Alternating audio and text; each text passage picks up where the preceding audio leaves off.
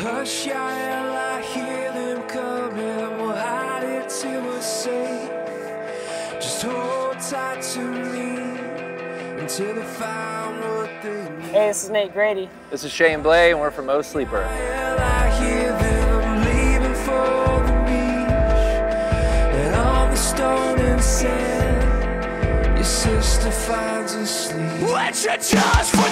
Our first tour ever was with the Human Abstract, and one of their guitar players had a uh, JP6, and I played it. He let me play it on stage one night, and I was like, this is the most flawless guitar in the world. So It's the same thing that happened to me too, and that was in 2006. And I've been playing that same JP6 ever since.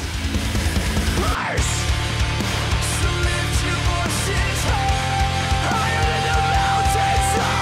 first thing I ever noticed about those about the JP6 is the neck. It's just too fast.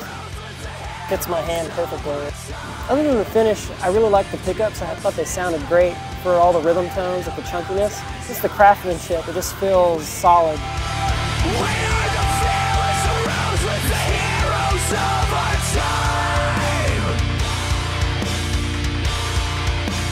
Warped Tours are very fun. It's uh, Oh yeah, it's the best. you're busy constantly, interviews and signings and playing, and you find out when you play like the day of, like early in the morning, and sometimes they're like, you're going on main at 11:15, so you have to like, oh crap, roll out of bed and then move all your gear and then uh, go and rock out in front of like 2,000 kids.